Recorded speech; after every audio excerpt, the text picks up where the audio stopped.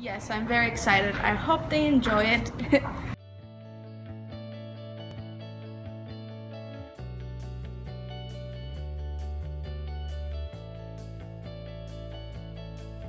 It actually goes back to the 80s. Uh, Nancy Cullen, art teacher, uh, had uh, murals around the campus, but they were more themed for the subject matter that was that they were located near. There was a remodeling in the 90s, and that's the where we have the size that this size that we have now.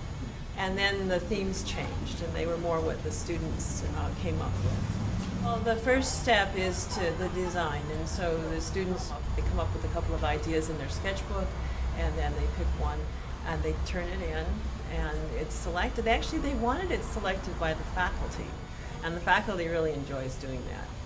There were about 25 entries, and six were chosen. They need to cover up the preceding year's work, and so first they scrub it a bit and sand it, and then put gesso on it or block out.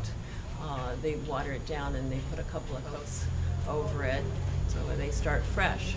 And then they're able to draw on it with charcoal or pencil, however. But they have to enlarge it, so that's an interesting um, problem. And, and then they start with acrylic. So basically, my mural, I try to combine two things that I really love, orcas and BTS, into one painting.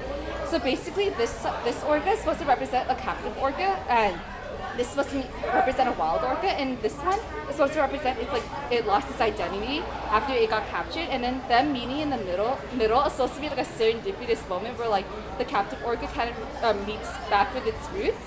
The reference photo was from a music video that BTS did, Serendipity. Um, and I just wanted to have something in the middle that where it was very like spontaneous and like pretty.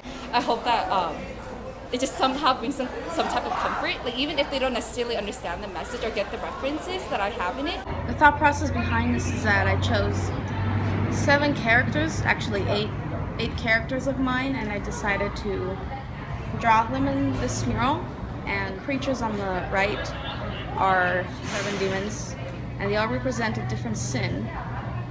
And on the far left, the bird is calling the demons to the light so they can redeem themselves. I'm very excited, obviously, about this because it's it's personal characters. I really enjoy drawing them a lot and painting them. So, I really like the message that is given And it's really great because they get to see their work blown up. So the, the whole school uh, gets to enjoy them. And, and so that's it's wonderful for us to see. And I, I'm sure it will continue.